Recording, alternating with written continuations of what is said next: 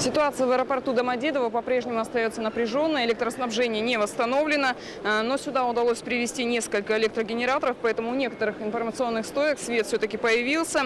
Все рейсы внутренние и международные отменены, но совсем недавно заработал единственный компьютер, поэтому э, первые вылеты будут осуществляться в Тель-Авив, э, Новосибирск и Томск.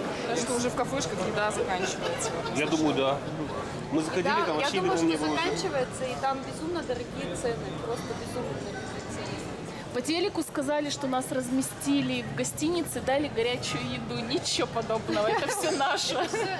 Свечки наши, Хлеб. Людям лишь спустя несколько часов после томления в аэропорту раздали питьевую воду. В целом работники аэропорта проблему с электроснабжением э, должны разрешить в течение двух часов. По крайней мере, такая информация прозвучала по громкой связи. Мы продолжаем следить за событиями.